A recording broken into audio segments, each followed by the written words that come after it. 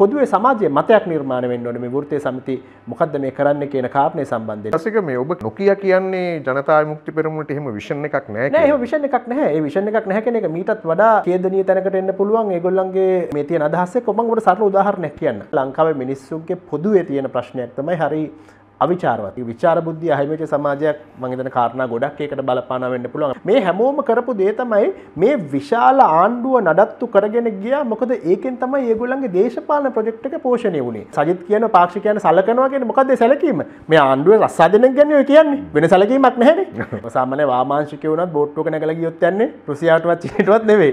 හරි. ලංකාවේ ජනප්‍රිය අර්ථයෙන් දේශපාලනය කියලා කියන්නේ මේ ප්‍රයෝගවලට. ගේම් එකක්.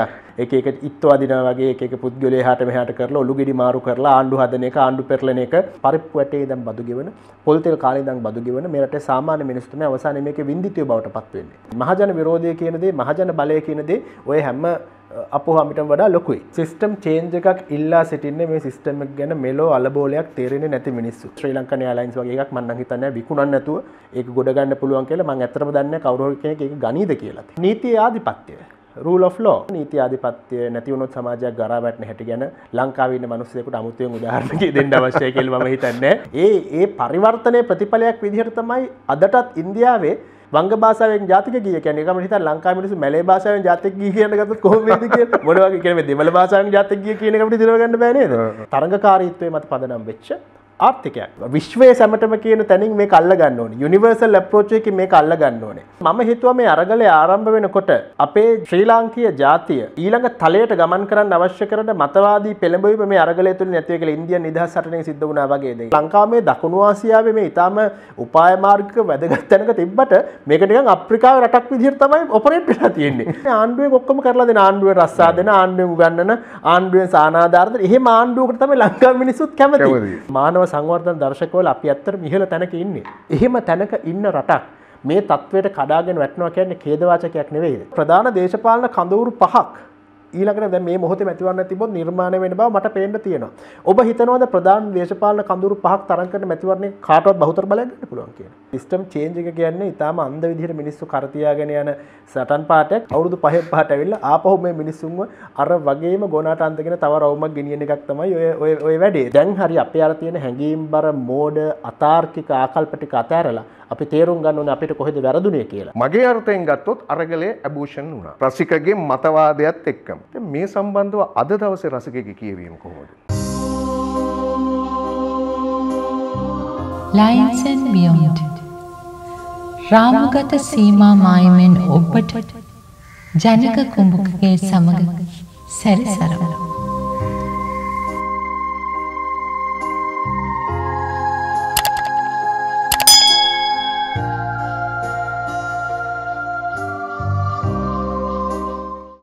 ප්‍රිය මිතුරු මිතුරුවනි අද අපි ලයින්සන් බියෝන් රසික කුලකයට කැඳවන්නේ ඩේල් නිවස් පුවත් පතේ හිටපු කතුවරයෙක්. ඒ වගේම සිවිල් සමාජ ක්‍රියාදරයෙක්.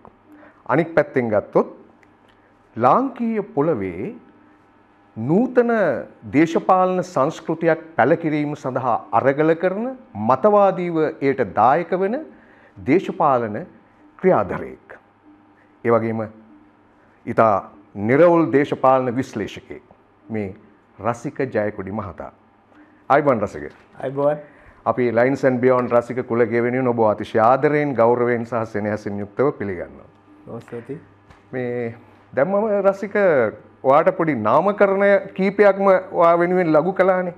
රසිකයේ නාමකරණයන්ගෙන් වඩා කැමතිම නාමකරණය මොකක්ද? ඒ ඔක්කොම නිකන් අර මං වෙලා කාලෙන් කාට අඳන ඇඳුම් වගේ දේවල්. වෙලා වෙලාට දාන තොප්පි වගේ දේවල්. මම කියන්නේ මේ මන් දාන්න තොප්පි ටිකවත් මං අඳින ඇඳුම් ටිකවත් නෙවෙයිනේ. ඒ ටික ගලවලා දැම්මම හම්බෙන නිර්වස්ත්‍ර නිර්වත් මිනිස්සයා තමයි මම කියන්නේ. ඒකට ඉතින් මම හිතන්නේ හොඳම නාමකරණය තමයි නිකම්ම නිකන් නිදහස් මිනිස්සෙක් කියන එක. වගේ දැන් අපි එතනින් දැන් ගනුදෙනු කරන්න පටන් ගත්තාම සමාජය එක්ක ලෝකයේ එක්ක වඩා පැහැදිලි වේදේ කරන්න පුළුවන්. එහෙම නැත්නම් අපි හැමදාම කරන එක එක තොප්පි ටිකක් දාගෙන එක එක ඇඳුම් ටිකක් ඇඳගෙන විකට ඇඳුම් තරගයකට යනවා වගේ පොඩි සෙල්ලමක් කරන එක. හරි. රසිකයේ කැමැත්ත ඒක නම් අපි කැමැත්ත ඉඩ දෙනවා. මම එහෙමනම් මෙහෙම තැනකින් පටන් ගන්නම් රසික. දේශපාලනය කියන්නේ මොකක්ද? දේශපාලනය කියන්නේ කිසියම් ආකාරයකට ගේම් එකක්ද නිකන් චෙස් ගේම් එකක් වගේ. ඒක එහෙම නොවේයි නම් රටක ජනතාව සුකිත මුදිත කරන උන්ගේ අපේක්ෂාවන් මල් පලගන්වන එක දීර්ඝකාලීන ව්‍යාපෘතියක්ද.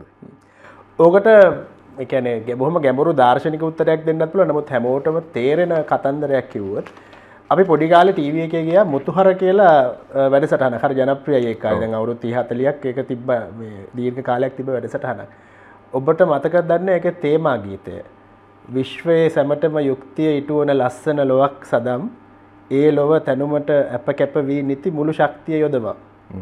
ඕකතමයි දේශපාලනේ. වෙන දෙයක් නෑ. මොකද ඒක හරි වටිනා වචනයක් තියෙනවා විශ්වය සැමටම එකැන යුනිවර්සලිසම් විශ්වීයවාදයක් නිදර්ශනයක් විදිහට කියමු දැන් එක රටක එක රටක් හිතනවා ඉක්මට තමන්ගේ ආර්ථික වර්ධනය ලබාගන්න ඕනය කියල ඉතාම දැඩි කාර්මී කරන ප්‍රතිපත්තියක් කරගෙනව හැම තැනම කර්මාන්ත පිහිටවනවා එතකොට මේකත් එක්ක දේශගුණික බලපෑමක් පාරිසරික බලපෑමක් වෙන්න පුළුවන්. එතකොට ඒ පාරිසරික බලපෑමට වන්දි ගෙවන්නේ සමහරට ඒ කාර්මීකරණ ව්‍යාපෘතින රට නෙවෙයි. ලෝකෙ වෙන තැනක තියෙන රටක්.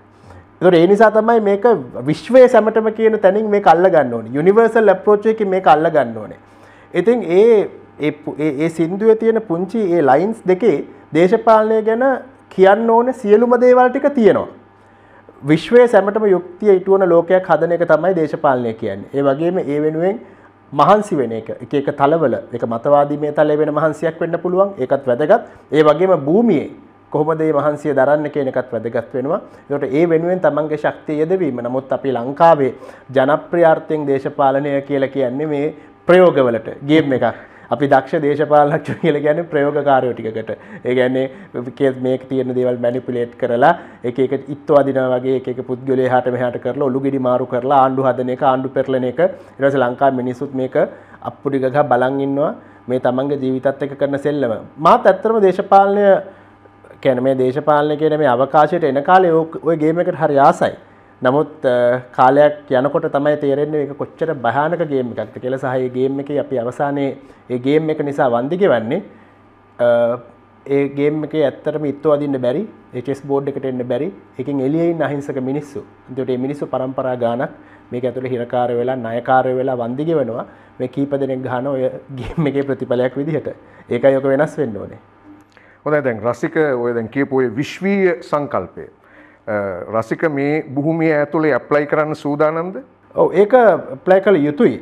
එක මම විතරක් සූදනම් වෙලත් මදි. ඒවගේ මේකට පොදුවේ හැම දෙනාම සමාජයේ දේශපාලනය ගැන හිතන උනන්දුවන ඒ වගේ දේශපාලනය කරන දේශපාලට සම්බන්ධ වෙන චන්ද දෙන චන්ද ඉල්ලන හැමෝට මේ ගැන අදහසක් තියෙන් නොනෙම නැත්තන් වෙන්න අපි හුද කලා දූපතක තනි වෙනවා. දැ මේ ඉන්න අප ඉන්න තත්ව හරිට රොබින්සන් කරුසෝ කතා හනත රොබින්සන් අන්දරය කියලගේ ඉස්සර මාලානාටකයක් වගේ තින්නනේ දූපතක හිරුණු පවල්ටික එගොලට ලයිටොත් නෑ තෙලුත් නෑ. දූපතෙන් එලියට පැනගන්නද දූපත ඇතුළ හිරවෙලා එක ඒගොල්ලගේ එක ගැටුම් එක දේවල් එක නාටකෙක් ගොලගේ ජීවිත ගෙවනවානේ. ඇති ඒකම නේද මේ ලංකා මිනිසුත් කරන දුපතක් ඇතුළ හිරවෙලා ලයිටුත් නෑ ගෑසුත් නෑ වෙන පහසුකමකුත් නෑ ඉන්නලත් නෑ.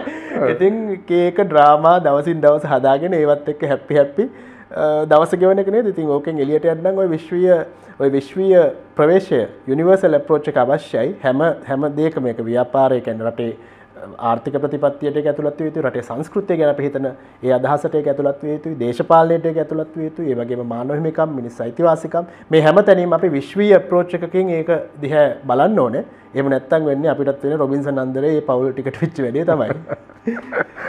මම මෙන්න මෙහෙම තැනකට එන්නම්. දැන් ඔය කතාවත් එක්ක. දැන් අපි අපේ රටේ ඓතිහාසික අරගලයක් අපි පහුගිය දවස් කීපය තුල ගෙවා දැම්මනේ. දැ මේ අරගලේ මුල් කාලයේ සිටම හිටපු බොම මතවාදීව ඒ වෙනුවෙන් කැපවෙච්ච යම් ප්‍රොපකැන්ඩ එකක් අරගලය වෙනුවෙන් දියත් කරපු සමාජ ක්‍රියාදරයෙක්නේ රසික ජයකුඩි කියලා කියන්නේ. එක වෙලාවකති රසික කිව්ව මට මතකයි මීට පස්සේ මේ අරගලය හරහා මෙතනින් එහාට ආයි ප්‍රභූ දේශපාලනයක් ලංකාවේ ගොඩනැගින් නෑ කියලා. ඒ වගේම දේශපාලඥයින්ගේ මේ ෆැන්ටසිය මෙතනින් අහවරයි කියලා රසික කිව්වා. හැබැයි අරගලේ උච්චතම අවස්ථාව වෙනකොට මගේ අර්ථයෙන් ගත්තොත් අරගලය ඇබූෂන් වුණා. රසිකගේ මතවාදයක්ත් එක්කම. මේ සම්බන්ධව අද දවසේ රසිකගේ කියවීම කොහොමද? එක ඇත්තට මට වැරදිච්ච තනක්. එක වැරදි තනක් නේ පොඩි මිස්කල්කුලේෂන් එකක් මං කරපු. මම හිතුවා මේ අරගලයත් එක්ක මේක ආරම්භ කරනකොට මේක ලංකාවේ සමාජයේ ලොකු පැරඩයිම් ශිෆ් එකකට. මේ මේකත් එක ගමන් කර. කෙනෙක අපි දේශපාලනය කරන විදිහ දේශපාලනය දිහ දකින විදිහ මිනිසු දේශපාලනය ප්‍රෝච් කන විදි සම්පූර්ණය මේකත් එක වෙනස් වේ කෙනෙක ලංකාවේ නිදහ සරගලයක් කියල දෙයක් කවදත් තිබිල නෑන එක අප මෑත ඉතිහාසය කැන අදක්ස් අටසිය දහට එක්ද සටසි හතලි සටේ කැරලි වලින් එහට ගිහිල්ලා ඇත්තටම නිදහස ලබා ගන්නද ඉන්දියාව මිනිස්සු කලා වගේ දීර්ඝ කාලන නිදහස් අරගලයක් අපිට තිබ්බෙ නැහැ ලංකාවේ. ඒ වගේම ලංකා මිනිසු දිනාගත්ත යම් යම් දේශපාලන ජයග්‍රහණ ව්‍යවස්ථා සංශෝධන ඉසුද්දන්ගේ කාලෙ කරපේවා ඒ වගේ ම සර්වධන චන්ද බලය ලබා ගැනීම.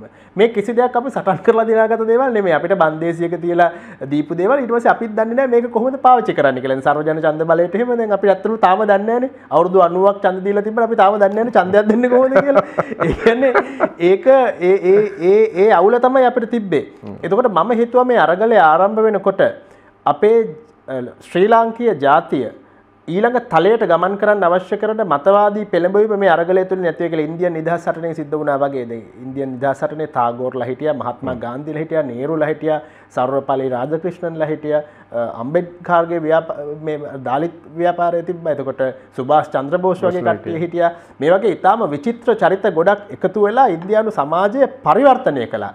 ඒ ඒ පරිවර්තනයේ ප්‍රතිඵලයක් විදිහට තමයි අදටත් ඉන්දියාවේ මිනිස්සු වංග භාෂාව ඉන්දියාවේ බොහොම සුළුතර භාෂාවක්. වංග භාෂාවෙන් ජාතික ගීය කියන්නේ ඒකම හිතා ලංකාවේ මිනිස්සු මැලේ භාෂාවෙන් ජාතික ගීය කියන ගත්තොත් කොහොම වේද කියලා? මොන වගේ කියන්නේ දෙමළ භාෂාවෙන් ජාතික ගීය කියන එක අපිට දිරව ගන්න බෑ නේද? එතකොට ඉන්දියාවේ මුස්ලිම් ජාතිකයෙක් ඉන්දියාවේ ජනාධිපති කමට එන්නේ. එතකොට ගෝත්‍රික ප්‍රජාව නියෝජනය කරන කාන්තාවක් ඉන්දියාව ජනාධිපතිනය වෙන්නේ. සීක් ජාතිකයෙක් ඉන්දියාවේ අගමැති වෙන්නේ. ඔය ඔය ඔය පරිවර්තනය ප්‍රතිඵලයක් විදිහට ඉන්දියාවේ මොන ප්‍රශ්න තිබ්බත් මිනිස්සු කොච්චර ගහමරා ගත්තත් සංකේතාත්මක ඔය වගේ වැදගත් දේවල් ගොඩක් වෙලා තියෙනවා.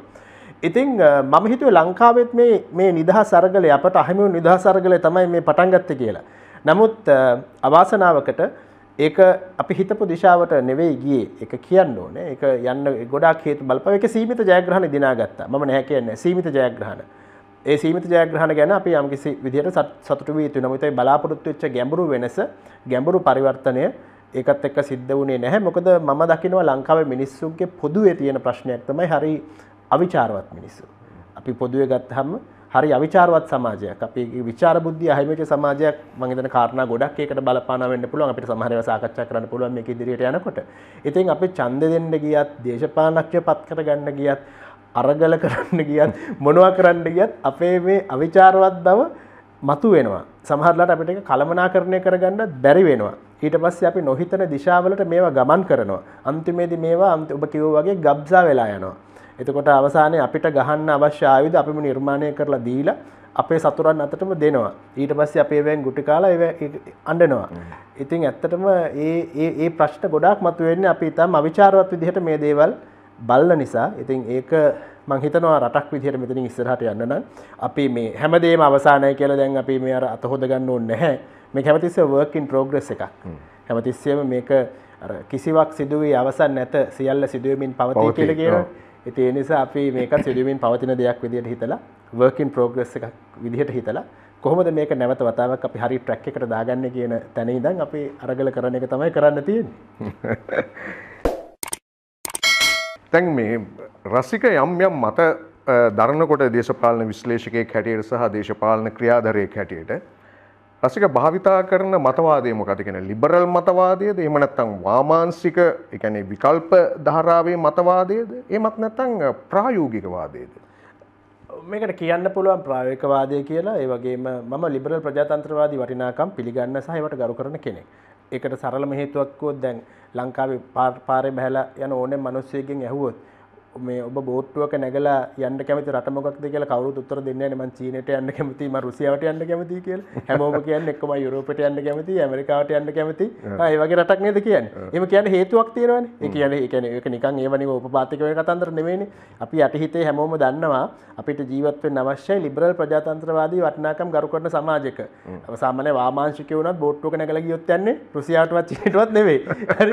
ඉතින් එතන තියෙනවා ඒක අපි තේරුම් ගන්න ඕනේ. ඇයි අපේ අපි අපි අපි අවංකව අපි ඇත්ත කතා කරමුකෝ එතකොට මේ ලිබරල් ප්‍රජාතන්ත්‍රවාදී වටිනාකම් මත තමයි සමාජයක් ගොඩනගෙන්න ඕනේ. එහෙම සමාජයක තමයි අලුතෙන් ඒ සමාජයට ඇතුල් වෙන මිනිස්සෙකුට මහන්සි වෙලා වැඩ කරලා ධනය උත්පාදනය කරලා අ, සාධාරණ විදිහට ඒ ධනය ආයෝජනය කරලා මේ නීතියේ ආධිපත්‍යය තියෙන අ, සමානාත්මතාව තියෙන අ, ඒ ඒ ඒ ෆ්‍රේම්වර්ක ඇතුළේ ජීවිතයක් ගොඩනග ගන්න පුළුවන් කතා කරන්න පුළුවන් හිතන්න පුළුවන් නිදහසේ හුස්ම ගන්න පුළුවන් කලා නිර්මාණවල යෙදෙන්න පුළුවන් අ, කලා නිර්මාණයකින් ආණ්ඩු විවේචනය කරයි කියලා හිරේ යන්නේ නැති එහෙම සමාජයක් නිර්මාණය කරගත යුතුයි මේක තමයි සත්‍යය එතකොට ඒ වෙනුවෙන් කරන්න ඕන දේවල් අපි කරන්න ඕනේ. එතකොට ඒ ඒ අර්ථයෙන් තමයි ලිබරල් ප්‍රජාතන්ත්‍රවාදී වරිණාකම් පිළිගන්නේ. නමුත් මේ ලිබරල් කියන වචනයට කැමති නැත්තම් ඒ කියන්නේ මේ වචනේ නිකන් අප්සෙට් වගේ නම් ඒක අපි වෙන වෙන වෙන විදිහකට අ, ඒ දිහා හිතුවමු. ලංකාව ඉදිරියට යන්න ඕන නම් අපිට අත්‍ය- අපිට අත්‍යවශ්‍යයි තරඟකාරී වෙළඳ පොලක් මාකට් බේස්ඩ් වෙළඳ පොළ මත පදනම් වෙච්ච තරඟකාරීත්වයේ මත පදනම් වෙච්ච ආර්ථිකයක්. ඇයි තරංකාරිත්වය අවශ්‍ය වෙන්නේ මේක සරලව කිව්වොත් දැන් අපේ ලංකාවේ ක්‍රිකට් කණ්ඩායම ගමු. ලංකාවේ ක්‍රිකට් කණ්ඩායමේ හැමදාම ඒ කියන්නේ ගැහුවත් නැතත් බිඳුවට අවුට් වුණත් එනින් 10ක බිඳුවට අවුට් වුණත් හැමදාම නම්බර් 3 වන් ඩවුන් වෙන්නේ කුසල් මෙන්ඩිස් නම්. එතකොට හැමදාම අංක 4ට එන්නේ චරිත් අසලංක නම්. හැමදාම අංක 5ට එන්නේ දසුන් ශානක නම්. දසුන් ශානක නම් හැමදාම කණ්ඩායමේ නායකයා. කණ්ඩායමේ විකට් කීපර් හැමදාම නිරෝෂන් දික් වෙලා නම් ඒගොල්ලෝ ගැහුවත් නැතත් ඒගොල්ලෝ ෆේල් වුණත් ෆෝම් එකේ හිටියත් නැතත් ඒ ඒ- ඒ කණ්ඩායමේ තරඟ දිනයිද? ඒගොල්ලෝ මං හිතන්නේ ඒ කියන්නේ ටෙස්ට් තත්ත්වයක් අහිමි මේ ටික දවසක් එහෙම ගන්න කියොත්. ඒ කියන්නේ අනිවාර්යයෙන්ම ඒගොල්ලෝ කණ්ඩායමේ රැඳී ඉන්න නම් දිගින් දිගටම perform කරන්න ඕනේ. ඒක තමයි පදනම. තර මේ අපේ ඩොමස්ටික් ලෝකල් තරඟ තියෙනවා මේ දේශීය තරඟාවලි තියෙනවා එතකොට ක්‍රීඩා සමාජ තරඟාවලි තියෙනවා අන්තර් පළාත් තරඟාවලි තියෙනවා මේ වගේ එක එක තලවල මේ මේ එක එක ස්ට්‍රක්චර්ස් හදලා තියෙන තරඟකාරීත්වය ඇති කරන්න. මේ තරඟකාරීත්වය අතරින් එන්න හොඳම ක්‍රීඩකයන්ට තමයි ජාතික කණ්ඩායමේ දොර ඇරෙන්නේ. ජාතික කණ්ඩායමේ ඒගොල්ලෝ ඉන්නත් ඒගොල්ලෝ දිගින් දිගටම හොඳ තරඟකාරීත්වයක් පවත්වා. ගන්න ඕනේ. එතකොට තමයි තරංකාරී කණ්ඩායමක් හැදෙන්නේ. එතකොට තමයි ලෝක මට්ටමට යන්න පුළුවන්. එතකොට තමයි වර්ල්ඩ් කප් එක දිනන්න පුළුවන්. එතකොට මේ ලෝකේ හැම දෙයකම තියෙන්නේ මේ තරංගකාරීත්වය සහ මේක සාධාරණ එකක් වෙන්න ඕනේ. මේක මානුෂික එකක් වෙන්න ඕනේ. එතකොට ඕක තමයි මාකට් බේස්ඩ් කියලා. ඕක තමයි කොම්පිටිටිව් මාකට් එකක් කියන්නේ. ඕක තමයි තරංකාරී වෙළඳ පොලක් කියන්නේ. තරංකාරී වෙළඳ පොලක ආණ්ඩුවේ ඒකාධිකාරයක් නැහැ. ඒ වගේම පුද්ගලික අංශයේ මේ මේ ප්‍රධාන සමාගම් දෙක තුනක ඒකාධිකාරයක් නැහැ. එතන තියෙන්නේ සමතල තරංග බිමක් හැමෝටම තරංග කරන්න පුළුවන් වටපිටාවක්. ඒක එක එක එක කුළුණක් සමාජයේ තියෙන. මම මම බලාපොරොත්තු වෙන සමාජයේ තියෙන එක කුළුණක් තමයි ඔය මාකට් බේස්ඩ් කොම්පිටිටිව් ඉකොනොමි කියන එක. අනෙක් පැත්තෙන් අ, නීතිය ආධිපත්‍යය රූල් of law නීති ආධිපත්‍යය තියෙන්න ඕන සමාජයක් ඉදිරියට යන්න. නීති ආධිපත්‍යය නැති වුණොත් සමාජයක් ගරා වැටෙන හැටි ගැන ලංකාවේ ඉන්න මිනිස්සුෙකුට අමුතුවෙන් උදාහරණයක් දෙන්න අවශ්‍යයි කියලා මම හිතන්නේ. නීති ආධිපත්‍යය අවශ්‍යයි. හැම තලයකම දේශපාලනඥයන්ගේ තලයේ විතරක් නෙමෙයි. රාජ්‍ය යාන්ත්‍රණය ඇතුලේ පොදු සමාජයේ හැමතැනම නීති ආධිපත්‍ය අවශ්‍යයි. වෙළඳ පොලේ වෙළඳ පොලෙත් නීති ආධිපත්‍ය තිබිය යුතුයි. නීති ආධිපත්‍ය කියන්නේ සමාජයේ දරාගෙන ඉන්න එක කුළුණක් එක එක සාධකයක්. අනිත් සාධකයේ ශක්තිමත් සමාජ සුබසාධන යාන්ත්‍රණයක් අපිට කියන්න බෑ 80ක් උද්දමනයේ තියෙන රටක සමාජ සුබසාධනය අවශ්‍ය නැහැ කියලා. එහෙම කිව්වොත් ඒක ඇත්තට මෝඩ කතාවක් වෙනවා. ඉතින් සමාජ සුබසාධනය අවශ්‍යයි. ඒක තාර්කික වෙන්න ඕනේ. රෂනල් වෙන්න ඕනේ. ඒ කියන්නේ දැන් මේ සමෘද්ධිය වගේ අතිශයින්ම දේශපාලනීකරණය වෙච්ච දේශපාලන හෙන්චයන්ට රස්සා දෙන දේශපාලන හෙන්චයන්ට මේ මේ ආණ්ඩුවේ සල්ලි වලින් පින්පඩි දෙන ඒ වගේ මේ සමෘද්ධිය පෙන්ලා තමයි මිනිස්සුන්ගෙන් අර බිත්තියට හේතු කළ ඡන්ද ගන්න. ඒකට මේ වගේ මේ විගඩමක් නෙවෙයි. නමුත් අ, තාර්කික සහ ශක්තිමත් සමාජ සුබසාධනයක් තියෙන්න ඕනේ. සමාජ සුබසාධන යාන්ත්‍රණයක් තියෙන්න ඕනේ. මේ මිනිස්සු මේ මේ තරඟකාරීත්වයෙන් පහළට වැටෙන මිනිස්සු. මේ තරඟකාරීත්වයත් එක්ක දිගටම අල්ලගෙන ඉන්න අමාරු මිනිස්සුන්ව නැවත ඔසවා තබා ගන්න, මේ මිනිස්සුන් ආරක්ෂා කරගන්න ඒ වගේ යාන්ත්‍රණයක් තියෙන්න ඕනේ. එතකොට ඔය කුළුණු තුන තමයි මම බලාපොරොත්තු වෙන සමාජයේ ගොඩනැගිලා තියෙන කුළුණු තුන. එතකොට ලිබරල් වගේ වචන අප්සෙට් නම් ඒ වැලජික් නම් මේ කුළුණු තුන දිහා බලන්න මේ තුන ඔස්සේ සමාජයක් ගොඩනැගුණාම අපිට ජීවත් වෙන්න පුළුවන්. ගෞරවයෙන් ජීවත් වෙන්න පුළුවන් සමාජයක් නිර්මාණය කරගන්න පුළුවන්. හොඳ රසික දැන් බොහොම හොඳ තැනකටාව දැන් උතනින්ම මම ඊළඟ ප්‍රශ්නයට එනවා. මොකද දැන් අපි කවුරුත් දන්නවනේ මේ වෙනකොට අපේ රටේ ස්වභාවය සම්පූර්ණම බුන්වත් භාවයේ ගිලිලානේ තියෙන්නේ මේක. එතකොට දැන් මේකෙන් ගොඩ එන්න නම් දැන් අ, ජාත්‍යන්තර මූල්‍ය අරමුදල වගේ ආයතනත් දැන් අපිට යෝජනා මාලාවන් ඉදිරිපත් වෙමින් යනවා. මේ දීර්ඝකාලීන පාඩු ලබන ආයතන. අ, යම් ආකාරයකට ප්‍රතිව්‍යුහ ගතකරණය කරන්න අවශ්‍යයි කියන එක. ඒ කියන්නේ අපි කිව්වොත් ප්‍රයිවටයිස් කරනවා කියන්නේ බොහොම අපි කවුරු දන්න කියන භාෂාවෙන් එන වචනයක් නෙවෙයි මොකද මේ කියන්නේ ඉංග්‍රීසි වචනයක් තමයි නමුත් එහෙමනේ මේක සමාජ භාවිතාවේ තියෙන්නේ. එතකොට දැන් මේක අස්සේ තියෙනවා අපේ අති විශාල රාජ්‍ය සේවයක්. මහිතන්නේ මිලියන එකයි දසම පහක විතර දකුණු ආසියාවේ විශාලතම රාජ්‍ය සේවය තියන්නේ මේ අපේ රටේනේ ඉතින් මේ දේශපාල ඔබ කිව්ව වගේම දේශපාලඥයින්ගේ පැවැත්ම තහවුරු කරගන්න මේ මේ ආයතනවලට මේ මිනිස්සුන්ව තල්ලු කරපු යාන්ත්‍රණයක්නේ මේ අපේ දීර්ඝකාලීන දේශපාලනය සකස් වෙලා තියෙන්නේ. එතකොට දැන් මේක රටක් හැටියට කොයිතරම් යහපත්ද? දැන් ඉදිරි කාලය තුල මේ මේ මේ මේ ආයතන බිලියන් ගණන් පාඩු ලබන වසර ගණනාවක් තිස්සේ පාඩු ලබන ආයතන පුද්ගලීකරණය කරන්න වෙනවා. එතකොට මේ මේ මේ තත්ත්වයන් ඔබ දකින්නේ කොහොමද? රටකට මේව කොයිතරම් දුරට දරන්න පුළුවන්ද? මේ වෙලා තියෙන්නේ අපි කියරුවට ලංකාව විවෘතාර්ථිකයක් කියලා මේක ඇත්තන විවෘතාර්ථිකයක් නෙවෙයි. ඒ කියන්නේ විවෘතාර්ථිකයක් විවෘතාර්ථය යම් යම් දේවල් 1977 ජේ.ආර් ජයවර්ධන හඳුන්වා දුන්නා. නමුත් ඒකත් එක්ක අනික් පැත්තේ මේ ආර්ථිකය විවෘත කරන ගමන් අනික් පැත්තේ ලංකාවේ හැමදාම විශාල ආණ්ඩුවක් පවත්වගෙන ගියා. විශාල ආණ්ඩුවක් කියන්නේ ලංකාවේ ආණ්ඩුව හැමදේම කරන ආණ්ඩුවක්. ඒක ලංකාවේ ආණ්ඩුව හම්බාණ්ඩ හදන එකේ ඉඳන් මත්පැන් නිෂ්පාදනය කරන එකේ ඉඳන් කජු විකුණන එකේ ඉඳන් පිගම් හදන එකේ ඉඳන් තෙල් බෙදන එකේ ඉඳන් විදුලි නිෂ්පාදනය කරන එකේ ඉඳන් සෞඛ්‍ය සේවයේ ඉඳන් අධ්‍යාපනයේ ඉඳන් හැම දෙයක්ම කරනවා. හැම දෙයක්ම කරනවා. ඒතකොට ලංකාවේ මිනිස්සුන්ගෙන් ඇහුවොත් ඕගොල්ල බලාපොරොත්තු වෙන ආණ්ඩුව මොකක්ද කියලා ඒගොල්ලෝ ගොඩක් දෙනා කියන්නේ ඔබටත් මේ අත්දැකීම තියෙයි. මේ ගොඩක් දෙනා කියන්නේ ආණ්ඩුවේ ඔක්කොම කරලා දෙන ආණ්ඩුවේ රස්සා දෙන ආණ්ඩුවෙන් උගන්නන ආණ්ඩුවෙන් සානාධාර දෙන. එහෙම ආණ්ඩුවකට තමයි ලංකාවේ මිනිස්සුත් කැමති. එතකොට ඒ ගමනේ ඒ ඒක එතකොට ඒකටම දේශපාලනඥයොත් කේට කරගත්තා. එතකොට ජේ.ආර් ජයවර්ධන 77 මේ ආර්ථික විවෘත කළාට එතනින් එහාට කරන්න තියෙන ප්‍රතිසංස්කරණ ඔහු කළේ නෑ. ඒ කියන්නේ මේ ආණ්ඩුව ටිකෙන් ටික කුඩා කරන වැඩි ඔහු කළේ නෑ. ඒ වෙනුවට ඔහු කළේ මොකද්ද? මේ ආණ්ඩුවට තමන්ගේ දේශ මේ මේ මේ විශාල ආණ්ඩුවට තමන්ගේ දේශපාලන හෙන්චයිව පත් කරලා, තමන්ගේ ගෝල බාලයව පත් කරලා, ජාතික සේවක සංගමේ කට්ටියට රස්සා දීලා ඒගොල්ලෝ ඒව උසස් කරලා මේ තමන්ගේ දේශපාලන යාන්ත්‍රණය පෝෂණය කරන්න මේ ආණ්ඩුව දිගින් දිගටම මේ විශාල ආණ්ඩුව දිගින් දිගටම නඩත්තු කරගෙන ආවා. ජේආර්ගෙන් පස්සේ ආපු ප්‍රේමදාස ප්‍රේමදාසගෙන් පස්සේ ආපු විජේතුංග. විජේතුංග නම් ටික කාලේ ඊට පස්සේ චන්ද්‍රිකා. චන්ද්‍රිකාගෙන් පස්සේ මහින්ද මහින්දගෙන් පස්සේ මෛත්‍රීපාල මෛත්‍රීපාලගෙන් පස්සේ ගෝඨාභය රාජපක්ෂ. මේ හැමෝම කරපු දේ තමයි මේ විශාල ආණ්ඩුව නඩත්තු කරගෙන ගියා. මොකද ඒකෙන් තමයි ඒගොල්ලන්ගේ දේශපාලන ප්‍රොජෙක්ට් එක පෝෂණය වුණේ. ඒගොල්ලන්ගේ හෙන්චයන් රස්සා හම්බ වුණේ. එතකොට අද පවා දැන් අද අද විපක්ෂයේ සමග ජන බලවේගය ඒගොල්ලෝ ගම්බල මොනවා කියලාද ඡන්ද කැම්පේන් කරන්නේ? අපේ ආණ්ඩුවකම පාක්ෂිකයන්ට සලකනවා. දැන් මේ සජිත් කියන පාක්ෂිකයන් සලකනවා කියන්නේ මොකක්ද සැලකීම? මේ ආණ්ඩුවේ රස්සා දෙනෙක් ගැන ඔය කියන්නේ. වෙන සැලකීමක් නැහැනේ. ඒ කියන්නේ ආණ්ඩුවේ මුදලින් තමන්ගේ දේශපාලන ප්‍රොජෙක්ට් එක පෝෂණය කරන එක ගැන කියන්නේ. එතකොට ඔය ගමනේ තාර්කික අවසානය තමයි රට කඩා වැටීම. දැන් ඒකත් වෙලා තියෙන්නේ. කියන්නේ මෙතනින් එහාට වැටෙන්න තැනක් නැහැ කියන්නේ ඒකයි. මෙච්චර ප්‍රමාණයක රට කඩා වෙනවට පස්සෙත් මේ රටේ ආර්ථිකය බංකොලොත් වෙලා මේ තත්වයට ආවට පස්සෙත් රටේ මිනිස්සු කියනවා නම් තාමත් අර විදිහේ රාජ්‍ය සේවයක් අවශ්‍යයි කියලා මං හිතන්නේ මිනිස්සු සියලු දෙනාට නොමිලේ මොලේ පරීක්ෂාවක් කවුරු හරි සිදු කරලා දෙන්න ඕනේ. එහෙම එහෙම නැත්නම් මේ රටට ඉදිරි ගමනක් නෑ. දැන් ඔබ කිව්වා වගේ ලංකාවේ මිලියන 1.5ක් ඉන්නවා රාජ්‍ය සේවය. ලංකාවේ මිනිස්සු 20ක් පාරේ හම්බුනොත් ඒ 20න් එක්කෙනෙක් රජයේ සේවකෙක්. මේක දකුණු ආසියාව විතරක් නෙමෙයි ආසියාවෙම විශාලම රාජ්‍ය සේවයක්. ඉතින් මේ මේ මේ කෝටි ප්‍රකෝටි ගානින් මේ රාජ්‍ය සේවය පාඩු ලබනවා. මේ මොහොතේත් මේ රාජ්‍ය සේවයේ බරපතල වංචා දූෂණ සිදු වෙනවා. මේවා දේශපාලනඥයෝ කරන හොරකම් විතරක් නෙවෙයි නිලධාරී තන්ත්‍රයේ හොරකම් සිද්ධ වෙනවා. ඒ වගේම ඊට පහළ තලයේ හොරකම් සිද්ධ වෙනවා. අපි හිතනවට වඩා මේ හොරකම රාජ්‍ය යාන්ත්‍රණය ඇතුලේ සාමාන්‍යකරණය වෙලා තියෙනවා නෝමලයිස් වෙලා තියෙනවා. ඒ නිසා මේක අනිවාර්යයෙන්ම ප්‍රතිසංස්කරණය කරන්න ඕනේ අපි IMF එකට ගියත් නොගියත්. දැන් ලංකාවේ ඇත්තටම මේ වෙනකොට ඉතිහාසයේ 16 පාරක් IMF එකට ගිහිල්ලා තියෙනවා. 16 පාරක් IMF එකෙන් මුදල් ලබාගෙන තියෙනවා. දැන් ඔබට මතක ඇති 97 98 කාලේ අග්නිදිග ආසියාවේ රටවල් ආර්ථික අර්බුදයකට ගමන් කළා. තායිලන්තේ මැලේසියා වගේ රටවල්. එතෙන්දී ජාත්‍යන්තර මූල්‍ය අරමුදල තමයි ওই තායිලන්තයට එහෙම ඇත්තටම උදව් කළේ. එතකොට ඒ ජාත්‍යන්තර මූල්‍ය අරමුදල ටිකක් ලොකු පැකේජ් එකකට ඒගොල්ලෝ ගියා. එතනින් පස්සේ කවදාවත් කවදාවත් ඒගොල්ලෝ ආපු ජාත්‍යන්තර මූල්‍ය අරමුදලට ගියේ නෑ. අද දැන් අවුරුදු අවුරුදු 25ක් තාම ගිහිල්ලා නෑ. ඉන්දියාව 1991 දී ආර්ථික අර්බුදයකට ගියා. මන්මෝහන් සිං මුදල් අමාත්‍යවරයා විදිහට පත් වෙලා ආර්ථික ප්‍රතිසංස්කරණ කරලා ආර්ථිකය විවෘත කරලා ඉන්දියාවේ ආර්ථිකය නැවත ගොඩ දැම්මා. ඉන්දියාව ජාත්‍යන්තර මූල්‍ය අරමුදලට ඔහොම 16 පාරක් ගියේ නැහැ. ලංකාව දාසේ පාරක් ගිහිල්ලා තියෙන මේ වගේ ගිහිල්ලා තියෙන රටවල් තියෙනවා අප්‍රිකාවේ අසමත් රාජ්‍යයන් කියන ඒවා.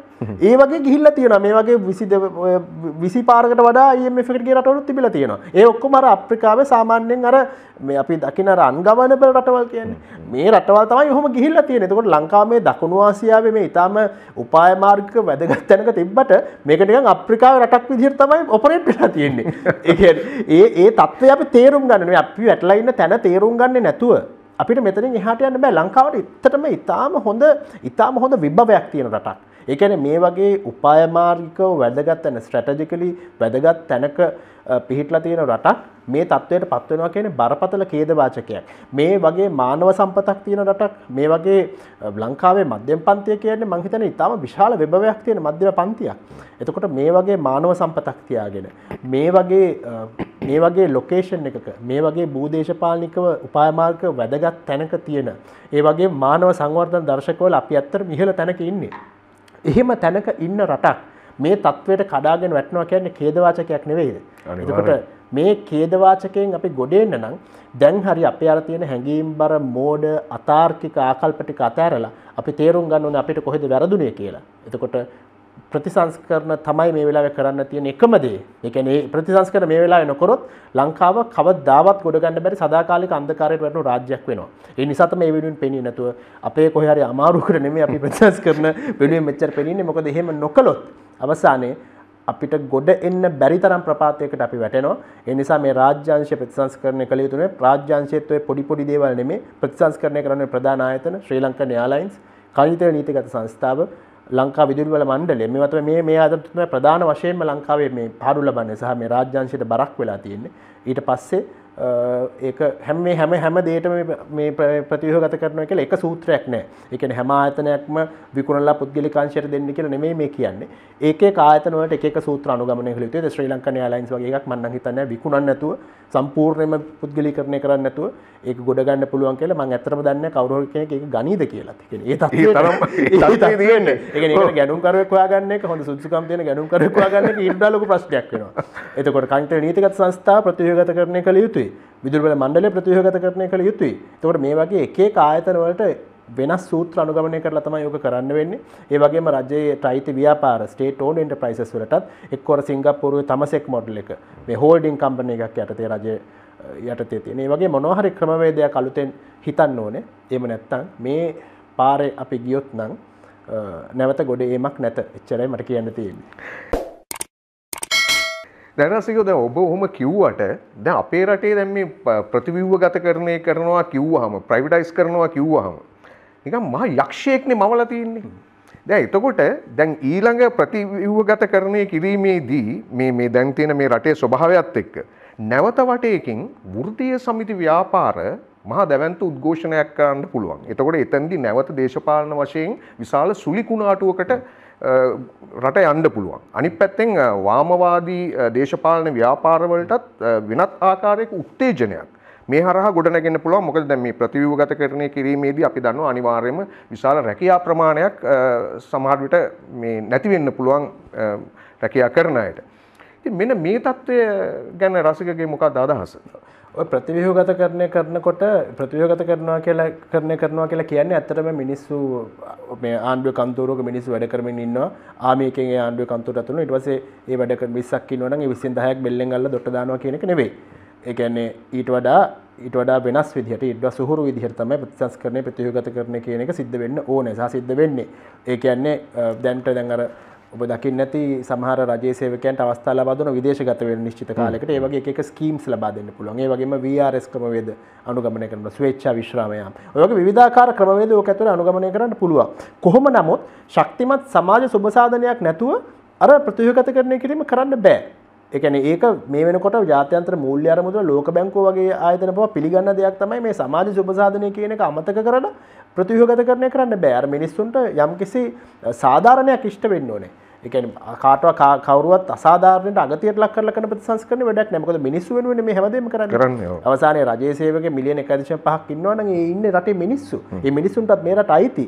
මේ මිනිස්සු මේ පිටසක්වල ජීවීන් පිරිසක් නෙවෙයි. එතකොට ඒ අයටත් සාධාරණ ඉෂ්ට වෙන විදිහටයි ප්‍රතියෝගත කරණය මේ වෙන්න ඕන රජයේ ආයතන. එතකොට ඒක ඔළුවේ තියාගන්න ඕනේ. අංක දෙක ලංකාවේ මිනිස්සුන්ගේ දේශපාලන චින්තනය ඇත්තටම ගොඩාක් වෙලාවට සකස් වෙලා තියෙන්නේ වාමාංශික සටන් පාට ඔස්සේ ඒකට හේතු ගණනාවක් බලපාන්න පුළුවන්. ලංකාවේ වාමාංශික ආණ්ඩු එක්දස් නවසේ හැත්ත පහේ තමයි එන්නෙම්ලා කොල්වින්ලා මැතිනි ආණ්ඩුවෙන් අයින් වුණේ. ආණ්ඩු හැත්ත හතේ වැටන හැත්ත පහතම අයින් වුණේ. එතකොට හැත්ත පහෙන් පත් පස්සේ අනු හතර වෙනකම් වාමාංශික පිරිස් ලංකාවේ ආණ්ඩුවල හිටියේ නැහැ. රනු හතරේ සම සමාජ පක්ෂය බර්නාඩ් සොයිසල සම සමාජ පක්ෂ කොමිනිස් පක්ෂ හිටිය චන්ත්‍රකාගේ ආණ්ඩුවේ. නමුත් චන්ත්‍රකාගේ ආණ්ඩුවත් ඇත්තටම ගියේ වාමාංශික එකන වාමාංශික මාවතේ මිදිලා යම් යම් දේවල් කරන්න උත්සාහ කරලා ටෙලිකොම් වගේ ආයතන වලට කරපු වෙනස්කම් ඇත්තටම සාර්ථක වුණා. නමුත් ගොඩක් දේවල් කරගන්න බැරි වුණා. කොහොම නමුත් මේ ආණ්ඩු කියන කාරණය පැත්තකින් තිබ්බොත් ලංකාවේ ඇත්තට මිනිස්සුන්ගේ දේශපාලන චින්තනය ගොඩක් වෙලාවට සකස් වෙලා තියෙන වාමාංශික සටන් පාට ඔස්සේ. දැන් නිකමට මං කිව්ව ඉස්සෙල්ලා වගේ පාර්ට බහැලා බලුවොත් මිනිස්සුන්ගේ ආණ්ඩුවෙන් මොකද්ද බලාපොරොත්තු වෙන්නේ කියලා ලංකාවේ ඉන්නේ හැම දෙයක්ම ආණ්ඩුවෙන් බලාපොරොත්තු වෙන්නේ. හැම දෙයක් සඳහාම සහනාධාර බලාපොරොත්තු වෙන්නේ. හැම දෙයක්ම ආණ්ඩුවෙන් කරලා දෙයි ආණ්ඩුවෙන් විසඳලා දෙයි කියලා බලාපොරොත්තු වෙන්නේ. රස්සාව ආණ්ඩුවෙන් දෙයි කියලා හිතන මිනිස්සු. බහුතරයක් ඉන්නේ එතන. එතකොට මේ මේක හැදුවේ ලංකාවේ වාමාංශික දේශපාලන පක්ෂ. ඒක අපි පිළිගන්න ඕනේ. එතකොට ලංකාවේ මේ මේ මේ අතීතයේ ඉඳන් ආපු ගොඩාක් ප්‍රතිසංස්කරණ වලට අධ්‍යාපන ප්‍රතිසංස්කරණ වලට වාමාංශික පිරිස් විෘත්ති වෘත්තීය සමිති ශිෂ්‍ය සංවිධාන විරුද්ධ වෙලා තියෙනවා. අද පවා මේ වෘත්තීය සමිතිය ඇත්තටම දේශපාලන පක්ෂවල අතකොළු විදිහට නේද ක්‍රියාත්මක වෙන්නේ. කිසිම වෘත්තීය සමිතියක් හිතන්නේ අති බහුතරයක් වෘත්තීය සමිතිය දේශපාලන පක්ෂවලට සම්බන්ධයි නේද? දේශපාලන පක්ෂ ඇජෙන්ඩාව නේද ඒගොල්ලෝ ක්‍රියාත්මක කරන්නේ. එතකොට එහෙම වෘත්තීය සමිතිය අපිට ඒ ඒ වගේ වෘත්තීය සමිති ජාලයක් එක්ක පුළුවන්ද මේ ප්‍රතිව්‍යුහගතකරණය කරන්න මං හිතන්නේ මෙතෙන්දී වඩා වැදගත්තේ ආණ්ඩුව බෙල්ලෙන් අල්ල වෘත්තීය සමිති මර්ධනය කරන එක නෙවෙයි මම ඒ වගේ දෙයකට විරුද්ධයි. නමුත් පොදුවේ සමාජයේ මතයක් නිර්මාණය වෙන්න ඕනේ මේ වෘත්තීය සමිති මොකද්ද මේ කරන්නේ කියන කාරණේ සම්බන්ධයෙන්. මහජන විරෝධය කියන දේ මහජන බලය කියන දේ ඔය හැම අපෝහමිටම වඩා ලොකුයි. ඒ නිසා මහජන බලය කියන කාරණය ගොඩනගෙන්න ඕනේ ප්‍රතිවිරෝධයක් ගොඩනගෙන්න ඕනේ රෙසිස්ටන්ස් එකක් ගොඩනගෙන්න ඕනේ මේ වෘත්තීය සමිතිවල දේශපාලන අජෙන්ඩාවලට එතකොට තමයි හැමෝම හැමෝටම එක්තරා තාර්කික ප්‍රවේශයකින් මේකට එකතු වෙන්න පුළුවන් වෙන්නේ. එහෙම නැත්නම් වෙන්නේ වෘත්තීය සමිති මේක එක දිහාවකට අදින්න උත්සාහ කරනවා. ඊට පස්සේ ආණ්ඩුව තව දිහාවකට අදින්න උත්සාහ කරනවා. රටේ පුද්ගලික අංශය තව දිහාවකට අදින්න උත්සාහ කරනවා. අන්තිමේදී අගතියට පස්සේ මේ මේ හැම මේ මේ හැම දෙයක්ම මැද්දේ ඉඳන් මේකට හිර වෙන්නේ රටේ සාමාන්‍ය මිනිස්සු පරිප්පු වැටේ ඉඳන් බදු ගෙවන පොල් තෙල් කාලේ ඉඳන් බදු ගෙවන මේ රටේ සාමාන්‍ය මිනිස්සු තමයි අවසානයේ මේකේ වින්දිතය බවට පත් වෙන්නේ. ඒ නිසා තමයි මහජන ප්‍රතිරෝධය කියන එක ඇති වෙන්න ඕනේ මේ දේශපාලනීකරණය වෙච්ච වෘත්තීය සමිති වලට. ඒ වගේම ප්‍රතිසංස්කරණ කරන්නේ නැතුව මේ වෙලාවේ කාලය නාස්ති කරමින් ඉන්න දේශපාලනඥයන්ට විරුද්ධව. හරි දැන් මම ඕකටම ටිකක් සමාන ප්‍රශ්නයක් එකතු කරනවා දැන් අපි දන්නවා දැන් ලංකාවේ මේ ධනපති පන්තිය සහ නිර්ධන පන්තිය කියලා මෙහිම පන්ති දෙකක් තියෙනවානේ. දැන් කාලාන්තරයක් පුරා මේ වාමවාදී අදහස් දැන් ඔබ කියපු ආකාරයට මේ ධනපති පන්තිය ගැන යම් ආකාරයේ වෛරී ස්වභාවයක් තමයි මේ නිර්ධන පාන්තික ආකල්පය ඇතුලේ තියෙන්නේ. එතකොට ධනපති පන්තිය තමයි හැබැයි මේ ව්‍යවසායකත්වය කියන එක තියෙන්නේ. දැන් ඔවුන් තමයි රටට ආයෝජනය ගේන්නේ. ඔවුන් තමයි ඔවුන්ගේ ආයෝජනයන් වෙනත් රටවලට ගෙනියන්නේ. ඒක නිර්ධන පාන්තියට කරන්න පුළුවන් දෙයක් නෙවෙයිනේ. හැබැයි මේ ඔය වාමවාදී මතවාදයන් කාන්දු වෙච්ච නිසාම මේ වෛරී සහගත මේ ආකල්ප නිසාම යම් ආකාරයකට මේ ව්‍යවසාය කියන එක ඒ ව්‍යවසායක සංස්කෘතියක් ලංකාවේ නිකම් බැහැර වෙලා තියෙනවා නේද? ඔව් ඒක මේ වාමාංශික මේකටත් කලින්ම ඉඳන් සාධක කීපයක් බලපාන්න පුළුවන්. එකක් අපේ ආගමික බලපෑම මම කියන්නේ එක ආගමක් නිසා විතරක් නෙමෙයි අපි ආගම තේරුම් ගත්ත විදිය. ලංකාවේ මිනිස්සු ධනයට නිකන් ධන විරෝධී ආකල්පයක ඉන්නවා. දැන් ඔබ දැන් ටෙලිනාට්‍ය ශාස්ත්‍රය ඔබ දන්නවා නම් ඔබ ටෙලිනාට්‍ය කීයක දැකලා තියෙනවා දැන් මුදලාලි කෙනෙක් කැමතිස්සෙම නිකන් කළු චරිතයක් නේද? يعني මුදලාලි තව සුදු චරිතයක් තියෙන එහෙම නැත්නම් හොඳ අර පොසිටිව් එකක් තියෙන මුදලාලි කෙනෙක් ඔබ දැකපු දවසක් නෑනේ. එහෙම මුදලාලා නෑනේ. මුදලාලි කිව්වහම අපේ ඔළුවේ තියෙන්නේ සූරා කන නිකන් හැමදේම අර ගිනි පොලියට දෙන ගිනි ගණන් වලට බඩු විකුණන නිකන් මහා නරුම අප්සෙට් චරිතයක් නේ මුදලාලි කෙනෙක් කියලා අපේ ඒ චිත්‍රය තියෙන්නේ ටෙලි නාට්‍යවලද කතන්දරවලද සාහිත්‍ය පොත්වලද. ඒ කියන්නේ අපේ මේ ඒ චින්තනයේ ෂේප් වෙලා තියෙන්නම ධන විරෝධී තැනකින්. ධනය එපවීම නරක දෙයක් කියන එක. ධනය ධනය වෙල්ත් ක්‍රියේෂන් කියන දේ ධනය උත්පාදනය කිරීම නිකන් අප්සෙට් දෙයක්. එක ලැජ්ජ වෙන්න ඕන දෙයක්. එක ඒක නෙමේ කරන්න ඕන දේ. අම්මලා වුණත් දරුවන්ව තල්ලු කරන්නේ ධනය උත්පාදනය කරන පැත්තට මේ කොහරි මේ සර්විස් සෙක්ටර් එකේ දොස්තර කෙනෙක් එහෙම නැත්නම් ඒ වගේ නිකන් ආණ්ඩුවේ කන්තෝරුවක එහෙම නැත්නම් පුද්ගලික අංශයේ කන්තෝරුවක සීතල කාමරයක ටයි එකක් දාගෙන කොළ ගොඩාක් අත්සන් කරලා ඊට පස්සේ හවස පහට අර බ්‍රීෆ් කේස් එකක් තරම් ගෙදර යන ජීවිතයකට තමයි ලංකාවේ ඇත්තට මිනිස්සුන්ව සූදානම් කරන්නේ. ලංකාවේ අධ්‍යාපනය කියන්නේ මේ ව්‍යවසායකත්වය ලංකායි පාසල ලුගන්න නැහැන. ඒක ප්‍රවර්ධනය කරන්නෙත් නෑන ලංකාවේ පාසලල මේ ප්‍රවර්ධන කර තරම කියපු ජීවිතේ. සීතල කාමරකටලා බෙල්ලිහිරෙන් අයකක්දාගෙන කොළ ගොඩක් අස්සන් කරන ජීවිතය තමයි ඇතුර ලංකායි ප්‍රවර්ධනය කරන්නේ. ඔය ඔය ඔය කාරණයිරස ඕකට මදාලයි ඔය වාමාංශික දේශපාල සටන් පාට විසින් නිර්මාණය කරපු යම්කිසි ඒ ප්‍රපගැන්ඩත් ඔය ඔය ආකල්පය ඇතිවෙන්ට හේතුවක් වුණා. මේ නිසා ඇත්තටම සිද්ධ වුණ එක දෙයක් තමයි ඔබ කිව්ව වගේ ලංකාවේ ව්‍යවසායකත්ව සංස්කෘතියක් කියන දෙයක් පැලවුණේ නෑ. ලංකාවේ මිනිස්සු මහන්සියලා ව්‍යාපාර කරන්න ධනය උත්පාදනය කරන තැනට පෙළඹුණේ නෑ. එතකොට ඒක වෙච්ච අනික් පැත්ත තමයි.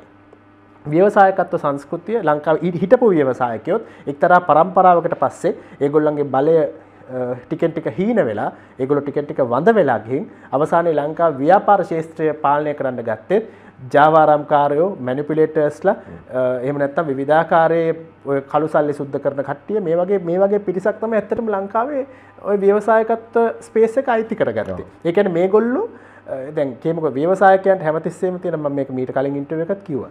ව්‍යවසායකයෝ කියන්නේ හැමතිස්සෙම ups and downs එක යන පිරිසක්. ඒ කියන්නේ එයාට හොඳ කාල උදා වෙනවා නරක කාල උදා වෙනවා. සමහර කාලවල ඒගොල්ලෝ උඩට එනවා. ඊට පස්සේ ඒගොල්ලෝ වැටෙනවා. ආපහු ඒගොල්ලෝ උඩට එනවා. මහන්සි වෙලා මේ මේ මේ මේ අරගලයත් එක තමයි ව්‍යවසායකයෝ ඉන්නේ. මේ මම කියපු ජාවාරම්කාර මැනිපුලේටර්ස්ලා කවදාවත් වැටෙන්නේ නෑ. ඒකැන කෝවිට් නෙමේ දේශපාල අරගනේ මොනවා ඒගොල්ල වැටෙන්න හැම දාම ඒගොල්ල පුළුවන් තරම් ධන ඒගොල්ල එකොල් ලාභපන හැම දෙයිම් ඒගොල්ලු ලාබපයන ඇයි? ඒගොලගේ දේශපාල සම්බන්ධකතය ඒගොල රාජ ප්‍රතිපත්ති මැනිපුලේට් කරන්න පුළුවන්. මේ අය බැංකුවෙන් නයක් ගත්තත් ඒව අප ගෙවන්න ඕන්න ඒවත් බොල්ල විදිට කපනවා? ඒ ඒ ඒ අරිත්කාරණය ඒ වගේ මුම් බදු ගෙවන්නෙත් නෑ හරි? බදුත් වංචා කරනවා. එතකොට මේවා නිසා කවදාවත් මේ මම කිමු මැනිපිලේටර්ස්ලා ජාවාරම්කාරයෝ වැටෙන්නේ නෑ ඒගොල වැටෙන්න ව්‍යවසායකව තම වැටෙන කට්ටිය වැටෙනවා නැගිටන වැටන නැගිටන ඒ ජනයක ව්‍යවසායකව යනවා එතකොට ලංකාවේ ඇත්තර මේ වෙද්දි ව්‍යාපාර ශේත්‍රය පාලනය කරන්න ලංකා මිනිස්සුන්ට ව්‍යාපාර කරන්න උපදෙස් දෙන්නේ ලංකාවේ මහා ව්‍යාපාරක විදිහට පෙන්නන ගොඩක් අය ඔය විදිහේ මැනිපියුලේටර්ස්ලා. ඉතින් ව්‍යවසායකත්ව සංස්කෘතිය ලංකාවේ ඇත්තටම ගිහිල්ලා ඉවරයි. ඒ කියන්නේ ව්‍යවසායකත්ව සංස්කෘතිය ලංකාවේ තැනක් නැහැ. ඒතකොට නැවත ලංකාව ශක්තිමත් රාජ්‍යයක් විදිහට නිර්මාණය කරන්න නම් ලංකාවේ ආපහු මේ මහ පොළොවේ ව්‍යවසායකත්ව සංස්කෘතිය පැල කරන්න වෙනවා. මිනිස්සුන්ගේ ව්‍යවසායකත්වයට ඇදලා ගන්න වෙනවා. ඒ වෙනුවෙන් ඒක ප්‍රවර්ධනය කරන්න වෙනවා. වෙල්ත් ක්‍රියේෂන් කියන දේට අපේ ඒ ඒ පැත්තට යන්න වෙනවා. ඉතින් ඒක ගැන ඉතාම ගැඹුරින් හිතන් නැතුව අපිට මේ අර හැමදාම අර සීතල කාමරයක වඩලා කොළ ගොඩක් අස්සං කරන ජීවිතයෙන් ගැන අප ප්‍රශ්න කරන්න නැතුව අපිට මේ ඉන්න වලෙන් ගොඩ එන්න බැහැ. හරි රසික. දැ මම මේ ප්‍රශ්නයහන්නේ ඔබ මේ සමාජ මාධ්‍ය ක්‍රියාදරයෙක් හැටියට ඔබ ඉතා ප්‍රබල සමාජ මාධ්‍ය ක්‍රියාදරේ දැන් අපි දකිනවා මේ සමාජ මාධ්‍ය ඇතුළේ විවිධ දේශපාලනික කතාබහ. ඒ කතාබහවලටම ඒ ඒ දැන් අපි කියමුකෝ YouTube නාලිකා කියලා එහෙම නැත්තම් වෙනත් FB ෆේස්බුක් එක ඇතුළේ කරන ඒ සාකච්ඡාවන් ගත්තොත් ඒවටම වෙංවෙච්ච මේ සමාජ තීරුවක් ඉන්නවානේ එතකොට ඔවුන් ඒ ඒ වෙනුවෙන් අදහස් ඔවුන්ගේ කමෙන්ට් හැටියට පල කරනවා. දැන් මෙතන්දී නිකං රැල්ලක් වගේ හැදිලා තියෙනවා කිසියම් ආකාරයකට විකල්ප මත දහරී දේශපාලන මේ ව්‍යාපාරවලට ලොකු නැඹුරුවක් ඒ සමාජ මාධ්‍ය ඇතුළි තියෙනවා.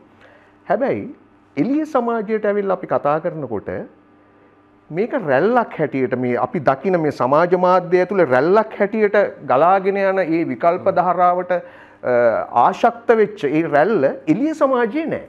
ඉදිය සමාජයේ තියෙන වෙනත් මතයක් ඒ කියන්නේ දැන් අපි දකිනවා ඒ ඒ ඒ සාකච්ඡාවන් ඇතුලේ මේ සාම්ප්‍රදායික දේශපාලන ක්‍රමවේදයන් ප්‍රතික්ෂේප කරන විශාල පිරිසක් ඉන්නවා සමාජ මාධ්‍ය ඇතුලේ. හැබැයි එළිය සමාජයට ඇවිල්ලා කතා බහ කරද්දී එහෙම බහුතර රැල්ලක් ගොඩ නැගිලා නැහැ. මේ මෙතන විශාල ගැප් එකක් තියෙනවා රසික. ඔබ ඒක දකින්නේ කොහොමද? මේ ගැප් එක මම හිතන්නේ සමාජ මාධ්‍ය කියන්නේ එක්තරා විදිහක ප්‍රකාශන ප්‍රකාශනය සිදු කරන තැනක්න එක සමාජ මාධ්‍ය කියන පලට්ෆෝර්ම් එකක්. එතකොට මේ පලට්ෆෝර්ම් එක ඉන්න කවුද?